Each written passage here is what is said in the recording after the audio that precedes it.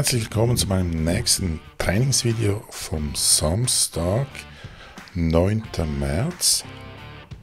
Wir haben uns ein bisschen zusammengetan, ein paar von unserem Powerlifting Club ORS und gingen ins Silverback Fitness und führten dort das Training durch. Super Gym, alles was das Powerlifting und Bodybuilding Herz begehrt. Wahrscheinlich das beste Gym in der Schweiz. Man sieht mich hier beim Aufwärmen für Squats ein bisschen die Tiefe fühlen und was ich leider feststellen musste, ich habe wieder ein bisschen ein Issue im linken Fußgelenk, so beim Aufwärmen, als ich da probierte maximal tief zu gehen, kam die linke Ferse ein bisschen vom Boden weg. Das heißt, dass ich dort ein bisschen ein Mobility Issue habe. Ich muss dem ein bisschen Beachtung schenken Während dem Squatten passiert mir das nicht, aber das deutet darauf hin, dass dort irgendwas ein bisschen im Argen ist. Jetzt geht es, aber ich bin sowieso, man sieht es zwar jetzt ohne Schuhe, sieht man es nicht, dass das Fußgewölbe, ja ganz leicht, das Fußgewölbe ein bisschen gegen innen einbricht, ist natürlich ein, ein minor Problem, aber ja, nötig ist das nicht. So, 120 Kilo aufwärmen, Danach gingen dann schon die Arbeitssätze los. Immer noch sehr bescheiden das Gewicht. 150 Kilogramm für vier Wiederholungen und sechs Sätze. Das ist die 65% Woche. Eben ich gehe im Moment so irgendwo auf einem Maximalgewicht bei mir von 225 bis 230 Kilo aus. Mehr kann ich nicht. Hüftbedingt, Trainingsstand bedingt das ist halt, was ich aktuell kann. Ich werde am Ende des Videos, also nach dem Trainingsfootage, noch ein bisschen über meinen Trainingsplan, also die Aussicht über die nächsten paar Einheiten von den Mainlifts, ein bisschen philosophieren und dann zeigen, welche Gewichte ich dann so verwenden werde. Die 150 Kilo gingen gut von der Hand technisch zufrieden. Was ich nicht zufrieden bin, linker Fuß sieht man wieder, dass sich die Fußspitze hin und wieder ein bisschen abhebt. Das war jetzt nur bei einer oder bei der ersten Wiederholung, aber ich glaube, es wird im Verlauf der Sätze wird das noch deutlicher. Das sind alles so Dinge, die ich während dem Liften nicht sehe, aber nach dem Liften dann zum Glück erkenne. Wenn ich daran denke, probiere ich das natürlich immer zu korrigieren. Aber ja, denke natürlich nicht immer dran. Letzten Training wurde mir zum Beispiel darauf aufmerksam gemacht von einem Zuschauer, also von einem anderen, der am Trainieren war, dass ich beim Bankdrücken auch den Fuß immer wieder mal ein bisschen bewege. Das ist ein altbekanntes Problem. Für solche Feedbacks bin ich sehr froh, weil das sind alles Dinge sind, die sich so einschleichen und schwer zu korrigieren sind und im Wettkampf nur dazu führen, dass man ungültige Lifts absolviert. Es ist schon interessant, während dem Liften dachte ich, die seien ultra tief, ich sei wirklich übertrieben tief runter. Wenn man das noch auf dem Video sieht, dann denkt man, okay, war knapp gültig. Also viel Reserve war das nicht. Perspektive täuscht natürlich ein bisschen. Man kann da die Safeties oder den Fuß des Racks nehmen als, als Maßstab oder als, als, als Hilfe. Ähm, einfach waagerechte Linie nach hinten ziehen ist natürlich verwirrend, aber der zum Beispiel hätte ich jetzt, wenn ich jetzt sehe, hier ungültig gegeben. Der erste, die anderen sind ein bisschen besser. Ja, Gewicht war keine Herausforderung. Hüftproblematik, also in der Hüftregion, es ist ja nicht die Hüfte als solches, also das Hüftgelenk, es ist was Muskuläres, ziemlich sicher. Wird immer besser, aber war natürlich spürbar. Spürbar ist das dann vor allem ähm, auf der Seite der Wade und ein bisschen eben beim, beim Gluteus. So, Bankdrücken, aufwärmen, habe ein bisschen was mit der Stange vorhin gemacht und Rotatoren und Schultern auf, also Schultern generell und Rotatoren im Speziellen aufgewärmt Und das sind jetzt ein paar Wiederholungen mit 70 Kilo. Danach standen auch Vierer an, 65 Prozent, 115 Kilo. Das heißt eben, ich traue mir irgendwas zwischen 165 und 170 aktuell zu. Das sind jetzt die 115 Kilo, das waren leicht aufgerundet. Ich glaube, gerechnet waren es 113. Natürlich ein bisschen aufgerundet. Gingen locker, probierte die Füße am Boden zu halten. Sieht man jetzt nicht ganz auf diesem Kameraausschnitt, aber in der Tendenz, man sieht es schon, dass das linke Bein auch hier immer, es ist immer ein bisschen die linke Seite bei mir, dass der Fuß ein bisschen nervös auf dem Boden steht. Gewicht war easy, soll es auch sein, sind auch nur 115 Kilo. Nächste Woche oder nächste Einheit sieht man das schon wieder anders aus. Übrigens, die, die äh, anderen Member vom ORS, die dabei waren, haben durchaus interessante Lifts absolviert. Also wir haben da 190 Kilogramm Benchversuch und auch von einem anderen Athleten 200 Kilogramm Bench sowie von einem dritten Athleten ähm, von der 105 Klasse so locker 260 Kilo Deadlift. Also das sieht sehr, sehr gut aus für den Wettkampf in etwa zwei Wochen, die Deutsch-Schweizer Meisterschaft im Powerlifting vom Kadekreis. Dort wird eine Athlet, der eben 260 Kilogramm da locker gedeadliftet hat, in der 105, 105 Kilogramm Klasse antreten. Wir erwarten so 280 oder mehr von ihm im Deadlift. Auch Deadlift, auch Bankdrücken machte ich sechs Sätze, vier Wiederholungen. Die konnte ich mit relativ wenig Pause für meine Verhältnisse, das heißt zwei, drei Minuten und nicht fünf, sechs bis zehn, was es dann auch schon mal gibt, durchziehen. Zur Freude meiner Clubkameraden machte ich dann am Schluss noch Single Leg Deadlift, was man hier sieht, mit 50 Kilo und jetzt mit, ich mache die jetzt konsequent mit, mit der Bar. Mit Kettlebell ist es ein bisschen angenehmer. Das ist so. Ich kann besser die Balance halten und so muss mich nicht so leicht zur Seite neigen.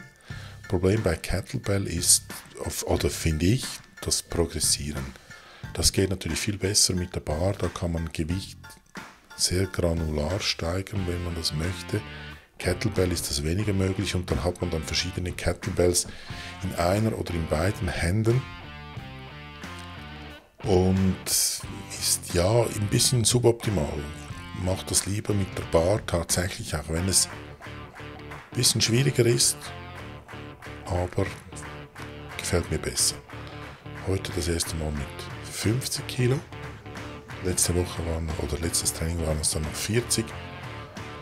Und dieses Mal habe ich mich nicht so verkrampft oder krampft in die Muskeln nicht so wie auch schon, sondern das war nicht gerade angenehm. ich finde es eher eine unangenehme Übung, aber man merkt deutlich, wie ich mich daran anfange zu gewöhnen wie die ganze neuronale Adaption, die Verbindung zwischen Hirn und Muskeln über die motorischen Einheiten, wie das sich verbessert, ich das besser ansteuern kann, eben auch Gleichgewichtsgefühl sich entwickelt und ich mich so auf den eigentlichen Lift konzentrieren kann. Das so sollte auch das Gewicht dann anständig gesteigert werden können. Trotzdem denke ich, auch wenn ich da maximal dann ähm, Balance habe und die Übung Intus viel Gewicht wird bei Single Leg Deadlift nicht gehen. Im zweiten Teil dieses Videos möchte ich ein bisschen meinen Trainingsplan, wie angekündigt, näher bringen, wie ich das mache, was da für Überlegungen zum Teil dahinter sind, also respektive nur punktuell für das ganz große Picture reicht die Zeit nicht oder das ist auch langweilig, da wenn ich monologisiere über meinen Trainingsplan, sondern ich möchte dann punktuell zeigen, wie das aussieht für die nächsten Tage. Wie ich das Ganze technisch gestalte, das habe ich schon an einem anderen Ort gezeigt und ein Video dazu gemacht, das auf dem Kanal auffindbar ist. Wir haben da ein Tool in Anführungs- und Schlusszeichen entwickelt. Ähm, ich komme aus der IT ähm, und deshalb bin ich da ein bisschen vorsichtig.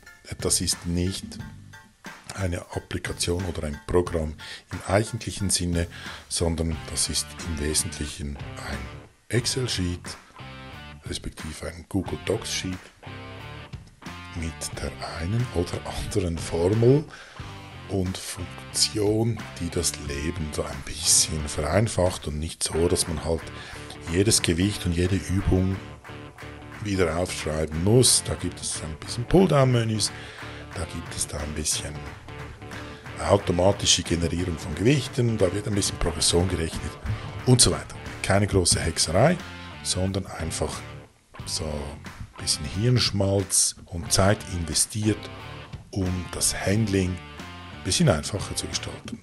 Ich möchte das mal in eine Software portieren, weil da gibt es natürlich immer gewisse ich, man stößt schnell an die, stößt schnell an die Grenzen von einem Google Docs Sheet.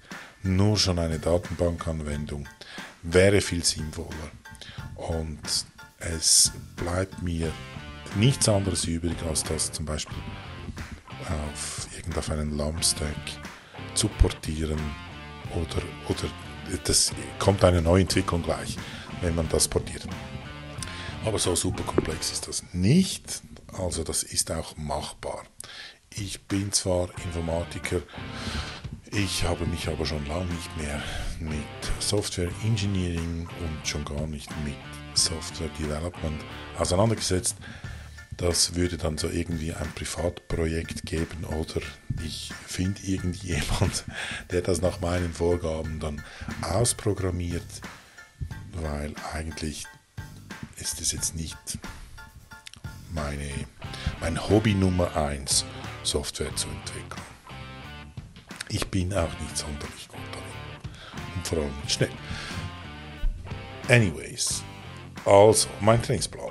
Wir sehen, 9. gestern also war Squats. In dieser Übersicht übrigens im wenig stecken, das ist hier die Coach-Lasche. Da entwickle ich, also entwickeln ist auch ein großes Wort, aber da stelle ich den Trainingsplan zusammen sei das für mich oder sei das für die Handvoll Trainees, die ich da mit meinen Trainingsplänen beglücke. Ähm, das ist so weit vereinfacht, dass ich da relativ einfach kann die Übung wählen und dann die Art und Weise, wie trainiert werden soll. Also nach welchem, nach welchem System, Ideologie, Schwerpunkten These und so weiter soll trainiert werden. Ich habe mir da ein paar, die ich immer verwende, umgesetzt. Das ist Brilepin, bedeutet ein, in Relation zum 1RM, hier jetzt zum Beispiel 65 Prozent, wird eine gewisse Anzahl von Wiederholungen und Sätzen durchgeführt. Oder das kann ich so wählen und dann macht es mir das automatisch. Oder wenn ich jetzt hier Brillepin wäre eine Prozentzahl angebe. Irgendwo an einem anderen Ort habe ich die 1RM-Gewichte hinterlegt, die ich kann. Die werden dann ständig, wenn sich das aktualisiert, verbessert, werden dann entsprechend ähm, äh, erweitert und, oder neu berechnet. Und das so, dass dann jetzt im Trainingsbereich, ich gehe jetzt auf Lasche 1, das okay ist nicht hier, ist nämlich schon in Lasche 2. Es sind immer sieben Trainings pro Lasche. Das hat auch einen gewissen Grund, ich möchte jetzt nicht weiter darauf eingehen. Also ich habe definiert Squats und jetzt alles, was hier steht, wird automatisch generiert. Sprich, ich habe da die Übung Squats, ich habe da das System Brillepin 65 mal 65 Prozent, rechnet mir das Gewicht. Oben seht ihr da ein bisschen Formel, seht da keine Hexerei. Er rechnet das Gewicht, wie viel das, das sein müssten ähm, Brilping 65 bedeutet, da wir machen vier Reps. Das ist jetzt bereits ein Training, das ich durchgeführt habe. Darum steht hier im roten Bereich, rot ist immer dort, wo der Athlet, der Trainee, was einfühlen kann und soll. Und an den anderen Orten ist er natürlich blockiert, dass die nicht die ganzen Formeln kaputt gemacht werden. ähm, und hier hat man jetzt noch die Möglichkeit, das zu overrulen, das Gewicht, was hier gerechnet wird. Wenn man einen guten Tag hat oder einen schlechten, kann man da sagen, ah, ich mache nicht 150, ich mache 155 und dann könnte man da das Gewicht eingeben. Ich habe da jetzt schon overruled, wahrscheinlich war es kleiner, ich kann das mal kurz rausnehmen und schauen, was passiert. Ja, weil ich jetzt nachher natürlich 150 verwendet habe, da macht das hier keinen Sinn mehr. Aber so kann man das overrulen. Hier sieht man es gut, oder? Hier habe ich auch overruled habe das Gewicht gerechnet, war das 113. Ich sagte, ah, passt mir nicht, in 115, weil 113 eine unschöne Zahl ist und ich mich gut fühlte und sowieso noch nicht ganz am Limit bin bei Benchpress, habe ich das entsprechend overruled. Ja, eben, das macht es mir selber, weil ich vorhin Squat gesagt habe, weil ich Brille bin gesagt habe und natürlich die Anzahl Sätze, das hier jetzt 6 an der Zahl, macht es mir natürlich auch automatisch. Ich gehe wieder zurück zum Coaching-Bereich, sehe hier, habe ich dann Benchpress, gleiches Schema, auch Brillipin. Hier bei Single Leg Deadlift habe ich ein anderes Satzsystem, wenn man so will, verwendet, nämlich Rap-Driven.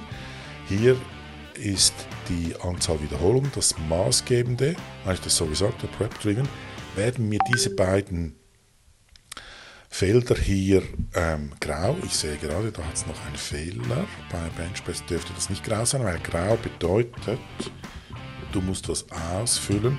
Aber hier hat das irgendwie einen äh, Format, Formatierungsfehler. Ich korrigiere das da kurz und dann ist das da gut. So, seht ihr, das ist weiß jetzt hinterlegt, bedeutet, da muss ich nichts ausfüllen weil ich jetzt da gesagt habe, Rap-Driven sind die mir grau hinterlegt worden, die Zellen. Das heißt, ich muss es ausfüllen, nämlich wie viele Sätze möchte ich machen und wie viele Wiederholungen. Und da kann ich noch sagen, wie viel Prozent vom aktuellen Maximalgewicht die Rechnungsgrundlage sein soll. Da kann ich wählen, habe ich mir so abgestuft, ähm, dass ich das wählen kann im Prozent.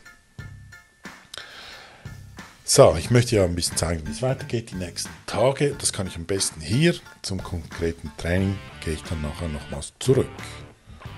Gut, also gehen wir auf was Spannendes. Band Overrows und Overhead Press ist nicht so entspannend, aber hier Deadlift. Wunderbar. So die großen Säulen, Pillars meines Trainings sind die Einheiten Squat und Bench, also in der Einheit, in der ich Squat und Bench neu mache. Früher hatte ich das noch getrennt, mache das wieder neu. Finde das wieder sinnvoller. Ich habe das lange Zeit so gemacht, dann wieder nicht. Jetzt finde ich es wieder sinnvoller. Also ihr seht auch, bei mir ist es so, je mehr ich das über das Zeug lese und erfahre und Erfahrungen sammle mit mir und mit Trainees und mit anderen Leuten, desto mehr Wechsel gibt es und desto mehr sehe ich, am Ende des Tages, ich glaube, man braucht keinen fancy Trainingsplan und überlegt und ausgeklügelt und so weiter. Ein paar Grundideen muss man einhalten, dass man vielleicht jetzt nicht gerade mit dem Beinstrecken probiert, seinen Squat zu verbessern und dass vielleicht 25 Sätze für Squats oder für Deadlift nicht so schlau sind und dass man nicht jedes Training einen Maximalversuch macht, glaube, wenn man solche einfachen, rudimentären Dinge einhält, dann funktioniert jeder Trainingsplan. Nichtsdestotrotz bin ich da ein bisschen nerdy unterwegs, weil mich das Ganze seit der Kindheit, ich glaube, ich habe mir mit 12, 14 Jahren, 14 wahrscheinlich war ich, meinen ersten Trainingsplan geschrieben. Und kann mich noch gut erinnern, wie das auf dem Zeichenbrett für das geometrische Zeichen ich da mein Papier eingespannt habe und die Einteilung des Blattes und dann die Übungen aufgeschrieben und wie viele Wiederholungen und wie viele Sätze und so weiter. Mir ähm, bereitet das Freude und, und ich probiere da, natürlich probiere ich immer die neuesten Ideen und besten Überlegungen einzubauen, aber ich glaube am Ende des Tages, wenn ich ehrlich bin, funktioniert hat bis jetzt alles und so, dass wirklich mal etwas, was man sagen muss, oh, das ist viel besser als das, das gab es nicht. Ich glaube, das Wichtigste ist, vor allem wenn man ein bisschen fortgeschritten ist, dass man die Ermüdung managt und dass man nicht in jedem Training bis zum Muskelversagen geht. Und ich glaube, wenn man das einhält und noch ein paar andere Dinge, dann funktioniert es. Ich habe viele Bekannte in meinem Freundeskreis, die trainieren alle ganz anders als ich. Und die sind alle auch stark oder stärker oder viel stärker. Und ähm, weiß nicht, ob das dann dem Trainingsplan geschuldet ist oder ob da ganz andere Dinge zusammenkommen. Aber wenn man, ich glaube, die Magic im Trainingsplan sucht, dann ist man verloren Posten. Der Trainingsplan trägt seinen Beitrag dazu, aber ich glaube, die Einstellung, die Passion, der Enthusiasmus, die, ähm, die Ausdauer, dass man dranbleibt und so weiter, das sind viel wichtigere Dinge, als ob ich jetzt am 60 oder mit 65 Prozent arbeite. Ihr merkt, ich lache ein bisschen selber über mich, ich muss mich immer ein bisschen da belächeln, weil ich finde, es gibt dann Zeiten, da ich immer finde, ich stecke viel zu viel Energie hinein für das, was rauskommt, weil, ja, eben, wie gesagt, es gibt stärkere Leute. Und es gibt Leute, die das besser machen. Wie auch immer, andere Diskussion. Zurück zu meinem Trainingsplan. Deadlifts. Eben die Pillars sind für mich das Squat-Training und dieses Deadlift-Training. Und da schaue ich, dass der Zeitpunkt zueinander nicht zu eng ist. Also ich brauche da einen gewissen Zeitraum dazwischen. Ich habe vielleicht noch einen Mini-Pillar. Das ist diese Einheit hier. Diese Speed-Einheit mit Cleans, Speed Squats und Speed Bench. Seht ihr hier vom Typ Speed. Das heißt, ich brauche, auf was achte ich? Ich achte, dass ich von dieser Einheit zu dieser Einheit mindestens 72 Stunden habe. Das heißt also, ein Tag 24, zwei Tage 48, drei Tage dazwischen. Ne? Auf das achte ich.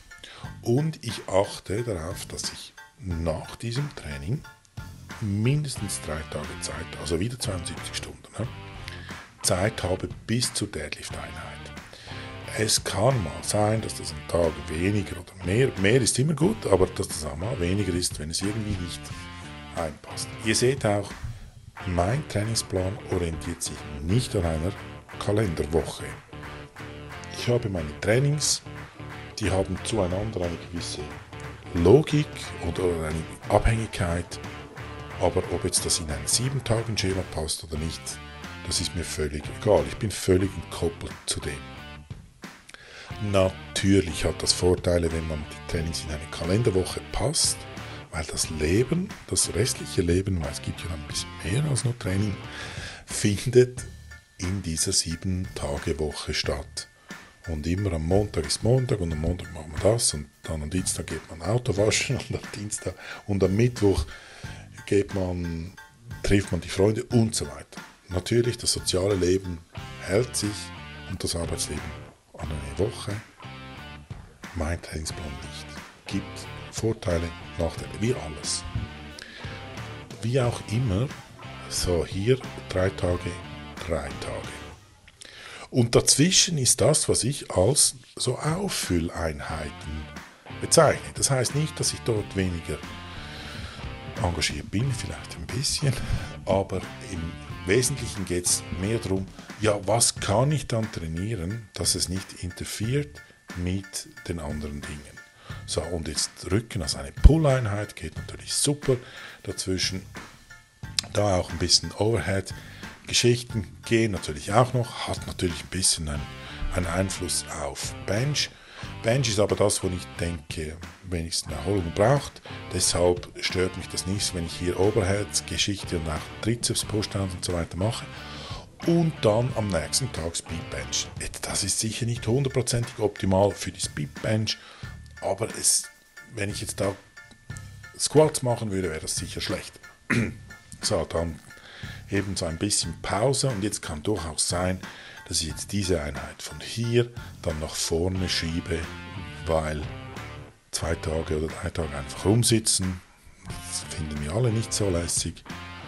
Kann auch sein, dass ich da hier irgend so was Kardiomäßiges mache. Oder, oh, Hilfe, Schimpfwort, was Crossfit-artiges mache. Das ist ähm, durchaus denkbar. Gut, also die Pillars. Schauen wir doch mal das Deadlift-Training an, wie das aussieht. Squat und Bench haben wir gesehen, das war vom 9. Das nächste Deadlift-Training sieht wie folgt aus. Competition, Deadlift, Brillipin-System, steigere da auf 70% vom Maximalgewicht raus, rauf, hat natürlich Konsequenz auf Wiederholung, auf Sätze. Sehen wir dann, wenn ich ins konkrete Training zurückgehe. Und so steigere ich mich durch oder dann eine Woche oder als nächste Einheit. Ihr seht auch, ich sage immer Woche dabei, ist das ja nicht eine Woche, sondern einfach die nächste Einheit vom gleichen Typ. Gehe ich dann auf 75 Prozent. Ich steigere mich da langsam im Gewicht. Alles andere Wiederholungszahlen, also Gesamtwiederholungszahlen geht zurück. Vielleicht sind es trotzdem gleich viele Sätze, aber weniger Wiederholung, also Gesamt. Äh, geht runter. Workload, also Wiederholung mal Satz mal Gewicht, geht runter. Ähm, aber Ausbelastungsintensität, das ist das Maß das besagt, wie nahe man ans Muskelversagen geht. Das geht rauf. Oder auch, wie in der Sportwissenschaft wird das als Intensität bezeichnet. Das ist übrigens auch, ein, was viele Leute, vor allem komische Influencer und sonstige YouTuber, die tausende von Trainingskunden haben, aber keine Ahnung von, von der Trainingslehre. Im Trainingskontext heißt Intensität näher am 1RM-Gewicht. Intensität im Trainingssportkontext, im sportwissenschaftlichen Kontext heißt nicht, es ist anstrengend. Intensität heißt, 2, 3 RM ist die kleinere Intensität als 2 RM. Und 1 RM ist natürlich die höchste Intensität. Auch etwas, das natürlich, weil das Wort Intensität in unserem normalen Sprachgebrauch anders besetzt ist. Natürlich schwierig, aber im sportwissenschaftlichen Kontext ist Intensität beschreibt das Maß an Entfernung, wenn man so will, zum Maximalgewicht, das man in der Lage ist zu bewegen. Also ein Satz mit 80 Kilo, auch wenn ich nur eine Wiederholung mache, ist im sportwissenschaftlichen Kontext intensiver, also oder falsch, hat die höhere Intensität als ein Satz mit 60% vom 1RM, aber ich mache 20 Wiederholungen. Wahrscheinlich bin ich dann näher am Muskelversagen, wenn ich nicht schon drin bin, als der andere, aber wie gesagt, Intensität beschreibt Maß an oder wie, wie nahe man am Maximalgewicht ist. Gut, also ich steigere da die Intensität, steigere ich also, dann noch auf 75 Kilo und dann noch auf 80. Und wenn ich 80 erreicht habe, mache dann nur noch Doubles, dafür etwa 8 Stück. Danach fange ich wieder von vorne, also das ist mein Makrozyklus.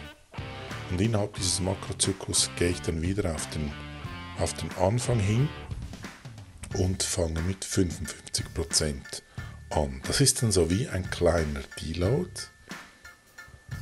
Und das mache ich ganz bewusst so, da spare ich mir die kompletten Deloads, habe immer so etwas ähnliches wie ein Wettkampf-Peaking, weil Gewichte gehen rauf, Wiederholungen gehen runter. So, das ist so die eine der Grundideen von Peking. Da kommen dann noch zwei, drei andere Komponenten hinzu. Aber ich habe gemerkt für mich, ich kann nicht year-round mit dem gleichen, gleich, oder gleichbleibender Intensität trainieren, sondern ich muss da ein bisschen variieren. Das, was man im normalen unter Hypotrophie-Phasen und Kraftausdauer und Kraftphasen und so weiter versteht, das mache ich in einem in verschiedenen Makrozyklen und da wir können das auch Mikrozyklen nehmen. Aber Mikrozyklen ist für mich innerhalb des Makrozyklus dann. Aber egal, ich möchte gar nicht abschweifen da. Ich mache das über ein paar Wochen und fange dann immer wieder von neu an. Das gibt mir auch die Möglichkeit, so körperliche Beschwerden, die sich mit halt mehr Ermüdung anhäufen, durch die Steigerung der Intensität dann wieder auskurieren zu können. So viel, also das ist die Idee.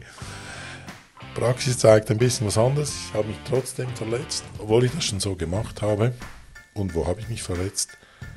In der 75% Phase und nicht mal in der 85, aber natürlich eher im höheren Bereich. Hätte ich damals schon wahrscheinlich diese Woche mit weniger Gewicht gemacht, hätte ich das ganze Theater mit dieser mühsamen Verletzung. Zurück zum Deadlift-Training, also 70%, nächstes Training ist dann 75, übernächstes Training ist das 85, dann geht es zurück auf 55. Dazu mache ich Floor Press neu jetzt, führe ich ab nächsten Training neu ein, weil ich möchte irgendeine Variante von Bench machen, respektive einfach meinen Drückapparat trainieren, nicht mit Bankdrücken, weil mir das zu viel ist, die Competition Lifts. Ich denke, das ist unklug. Andere sehen das anders. Wie gesagt, ich weiß nicht, was das Beste ist. Es ist mir auch egal, was das Beste ist. Ich mache es so. Ich habe meine Überlegung. Das ist übrigens was, was ich ganz wichtig finde. Neben dem, dass ich sage, wahrscheinlich funktioniert alles, sage ich, man muss eine These haben. Ich habe meine Thesen. Ich habe Thesen und aufgrund meiner Thesen baue ich meinen Trainingsplan. Ich bleibe so mir ein bisschen, oder nicht ein bisschen, sondern ich bin kongruent. Ich vertrete die Thesen und laufe den Thesen nach. Und dann irgendwann kann ich vielleicht sagen, hey Moment, meine Thesen waren nicht gut, weil ich bin nicht stärker geworden, alle anderen sind viel besser. Dann kann ich meine Thesen überarbeiten. Aber einfach mal was probieren und ah, ich habe das gehört, das ist auch noch gut. Und dann möglichst noch verschiedene Dinge mischen, das führt nicht zum Ziel, ist nicht messbar. Ich locke das alles, kann immer genau sagen, was mir wann wie viel gebracht hat. Auch hier natürlich mit Vorbehalt zu gewissen, weil die ganzen Umwelteinflüsse, die ganzen Parameter, die man nicht mit Trainingsplan steuern kann, wie ich geschlafen habe, habe ich den Stress im Geschäft, war ich krank, das sind Parameter, die man nicht über den Trainingsplan steuern kann. Das sind äußere Einflüsse, die wahrscheinlich, auf die wir sowieso weniger Einfluss haben, die fließen jetzt in mein Log, wo ich die nackten Zahlen äh, äh, festhalte, natürlich nicht hinein. Und zwei Jahre später genau den Grund zu finden, warum ich jetzt da stärker oder nicht stärker geworden bin, ist natürlich auch immer so eine Sache. Die Wahrheit liegt nicht alleine in den Zahlen von den Trainingsresultaten. Das ist viel, viel komplexer. Und in einer idealen Welt könnte man das alles erfassen, so wie man auch Klimaveränderung oder Wettervorhersagen treffen kann, weil man da eine Unzahl an Parameter eingibt und Hochleistungsrechner hat, die das alles berechnen und entsprechende Algorithmen dazu. Wenn wir sowas hätten, wahrscheinlich für Powerlifting-Training, dann könnten wir wahrscheinlich noch bessere Trainingspläne machen. Aber eben, wir lassen die Kirche da Dorf. So, Floor Press, dass ich eine Push-Bewegung habe, die nicht Bankdrücken ist, aber ähnlich wie Bankdrücken. Das sind viele Überlegungen dahinter. Ich möchte Bankdrücken, möchte mich aber nicht ermüden, wie wenn ich Bankdrücken würde, oder? Ich mache das auch hier als Rier, also ich möchte mich nicht überfordern. Rier 3, das ist relativ human, würde ich sagen. Rier 2 finde ich dann schon anstrengender, also, also ist anstrengender und finde ich, ermüdet mich zu fest. Ähm, aber das wäre jetzt der Parameter, mit dem ich spielen kann. Wenn ich merke, ah, ich bin nach dem Floorpress nie richtig geholt fürs nächste Bench, dann würde ich jetzt da sagen, ja gut, ich gehe mal einen Rier rauf. Und wenn ich merke, ah, ich bin total frisch, immer im Bankdrücktraining, wir wollen immer probieren, was ist möglich, ohne zu viel zu machen, dann könnte ich hier einen Rear runter. Rear 3 hat sich mir gezeigt, ist ein guter Wert. Front Squats auch dazu, Überlegung bei Front Squats folgende, Deadlift habe ich vor allem Posterior Chain. Da kann ich also die Vorderseite noch ein bisschen bearbeiten, ohne dass ich viel mehr Ermüdung für die Posterior Chain, also für den ganzen Deadlift, für die Hüftöffnung ähm, mir anhäufe. Weil eine zweite Deadlift-Übung wäre mir persönlich zu viel, finde ich persönlich zu viel, muss ich nicht haben, aber ich kann meine Beine sonst noch ein bisschen bearbeiten. Front Squat wird mir wahrscheinlich die Ermüdung, die ich übers Deadliften anhäufe, ebenfalls ein bisschen steigern, aber niemals in dem Maß. Macht das auch hier. Drei, wenn das mir zu viel werden würden, würde, würde ich hier anpassen. Ich mache auch nur drei Wiederholungen, aber das variiert. Oder da bin ich dann flexibel, da mache ich irgendwas, ich sage jetzt zwischen zwei und acht Wiederholungen. Das tausche ich auch häufig durch. Da mache ich meistens nicht jedes Training das gleiche. Und am Schluss die Swings, die alle so lieben. Ähm, das bin ich am Austesten. Ich bin überzeugt von dieser Übung. Sehe da viel Benefits. Probiere jetzt aus, ob sie wirklich so Benefits hat oder ob man die auch einfach streichen kann. Im Moment würde ich sagen, muss man drin haben das Powerliften. Geht nicht ein Powerlifting-Training ohne Swings. Wir wissen es, das weiß nicht, ob Jesus Olivares Swings macht, wahrscheinlich nicht. Und trotzdem squattet er fast 400 oder fast 500 Kilo. Ja, so, schauen wir an, wie das in einem konkreten Training aussieht. Ich gehe da in die Trainingslasche. So, hier haben wir das Training vom 9., da wo es die Footage dazu gibt, so entsprechend eingeführt. So, was ist das nächste Spannende? Die Deadlifts, die wir intensiv angeschaut haben. Also, ihr seht, ich habe das vorne ausgefüllt. Deadlifts, mir generiert es Brille Pin 70, bedeutet drei Wiederholungen. Gewichts wurde ausgerechnet, 90%, Entschuldigung, 70% von meinem aktuellen Max. Mein aktuelles Max ist so um die 270 rum, das gibt 70% ungefähr. Es wird da hin und her gerundet, vergisst das nicht. Ähm, 190 Kilo und ich mache da Dreier Wiederholungen. Ihr seht auch, es hat mir sechs Sätze generiert. Das ist so hinterlegt, das ist so programmiert, dass bei Brillepin 70 sechs Sätze gibt. Ich kann das vielleicht zeigen, wenn ich jetzt da auf Brillepin 85 wie dann die letzte Woche umstelle und mir das Training nochmal anschaue, ihr seht, A hat es mir das Gewicht jetzt angepasst, respektive ich habe da ein, ein manueller Override gemacht. Ich nehme den mal kurz raus. Ähm, zu dem kann ich gerade was sagen, aber ihr seht, ähm, 85% von 270 gibt da ungefähr 230, das passt. Es sind nur noch zwei Wiederholungen und es hat mir 8 Sätze generiert, die ich dann ausführen muss. Also eben je nachdem, was ich da eingebe, generiert es mir dort hinten. Und das habe ich damit gemeint, ich entwickle hier mein Training losgelöst von wie viel Gewicht und, und wie viel Wiederholung, bin nicht damit belastet, dass ich jetzt das Sheet so formatieren muss, dass es sechs Sätze sind und so weiter, sondern mach, kann hier meiner Kreativität, in Anführungs- und Schlusszeichen, freien Lauf lassen und meine Überlegungen und hin und her und was ist sinnvoll und was nicht. Und bin nicht damit belastet, das in ein akzeptables Format zu quetschen. So, ich stelle hier wieder um auf 70.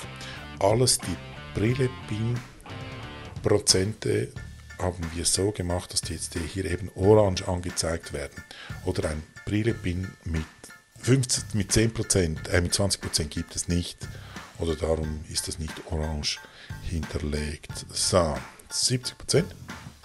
Geht zurück auf die Trainingslasche. Ihr seht nur noch 6 Sätze. Das Gewicht wurde angepasst und jetzt seht ihr, gerechnet und ein bisschen gerundet. Gibt es 189 Kilo, aber ich schnall mir natürlich sicher nicht 189 Kilo auf die Hantel, da kommt mindestens 190 drauf. Deshalb habe ich das schon vorauseilend hier editiert. Und wenn ich das, ist auch so programmiert, oder eben mit Formen und so gemacht, wenn ich hier ein manueller Override mache, dass es mir anpasst. Das ist auch dazu gedacht, ich gehe ins Training oder ich mache es nochmal weg 189 Kilo und ich merke, ich bin überhaupt nicht fit und kann hier dann nur 70 Kilo, äh, 170 Kilo bewegen, dann kann ich das natürlich auch entsprechend umsetzen, so dass es mir das errechnete Gewicht overruled. So, 190 würde ich machen. Ja, und eben Floor Press, seht da, ich habe hier auch schon overruled. Floor Press stimmt mein 1RM, das ich hier hinterlegt habe, nicht so wirklich, deshalb habe ich da hier schon großzügig overruled. Front Squats bin ich mich am Pushen, habe ich auch an anderer Stelle bereits erwähnt. Habe ich auch Leistungsreserven gerechnet, wäre es jetzt 118. Ich habe jetzt hier da gesagt, ich werde das mit 125 Kilo ausführen und auch Swings zur Freude aller habe ich hier schon overruled und werde die mit 60 Kilogramm probieren. Ja, dies ein kurzer Einblick ein bisschen in meine nächsten oder in meine zwei nächsten wichtigen Trainings und wie ich überhaupt zu dem komme. Ich hoffe, es war nicht allzu langweilig und bedanke mich für die Aufmerksamkeit.